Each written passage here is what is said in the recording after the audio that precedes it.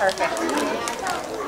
Good job. Done We're at uh, Tyler State Park here and Neshaminy Creek, and we're doing our trout release uh, for uh, 2013. Uh, McDonald Elementary School fifth graders and second graders are here, and we are uh, releasing about 30 trout into the water today. Uh, it's part of our Trout in the Classroom program, which is sponsored by the Centennial Education Foundation. We have taken the time over the rest of the year, I guess, previous to this, to do a, uh, a full raising of them.